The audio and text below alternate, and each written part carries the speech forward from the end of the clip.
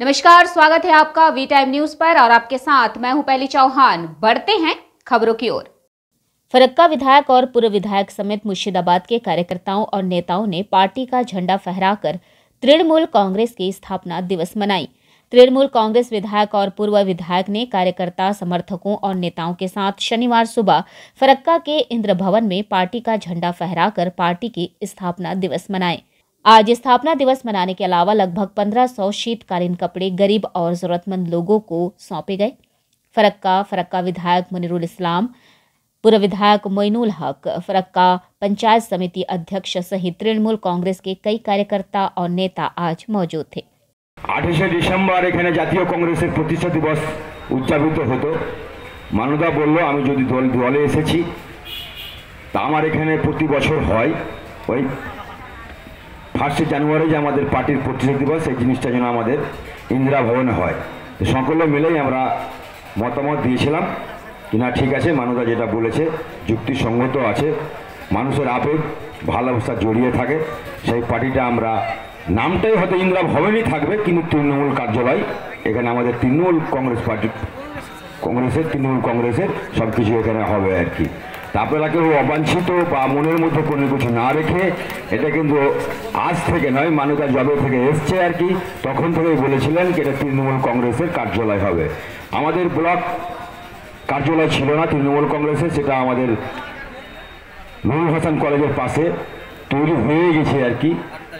আট তারিখে সেদিন গান আমাদের উদ্বোধন হবে, পার্টি অফিস উদ্বোধন হবে এবং সমস্ত মুর্শিদাবাদ জেলার এমএলএ, এমপি এবং জেলা সভাপতি, আটটা পুরসভার প্রশাসক, মালদা ডিস্ট্রিক্টের এমএলএ, এমপি, প্রশাসক, মিউনিসিপ্যালিটির প্রশাসক, সকলকেই আমরা আমাদের দলের পক্ষ থেকে সকলকে সংবর্ধনা এবং আমাদের পার্টি অফিস উদ্বোধন হবে।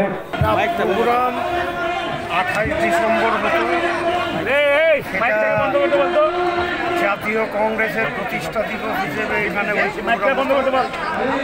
যেহেতু আমাদের দল পরিবর্তন হয়েছে বরাবরই আমরা এখানে প্রতি বছরই করেছি।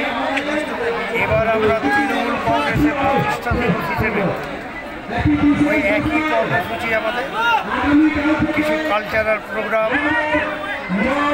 বিতরণ আর তার সঙ্গে সঙ্গে খাওয়া দাওয়া। এটাই আমরা করেছি বিগত কয়েক বছর ধরে। সেটাই আবার আমরা তৃণমূলের পতাকার তলে এসে আবার একই রকম কর্মসূচি আমরা করলাম এবং এখানে দেখলাম যে নতুন পুরনো সবাই প্রায় যারা প্রথম সারির নেতৃত্ব কর্মী দেখছি সবাই এখানে এসছে এটাই আমার আনন্দ আর কি। বিধায়ক আমি একসঙ্গে থেকে আমাদের স্থানীয় নেতৃত্বকে নিয়ে এই কর্মসূচি আমরা পালন করেছি। এটাই ভালো লেগেছে।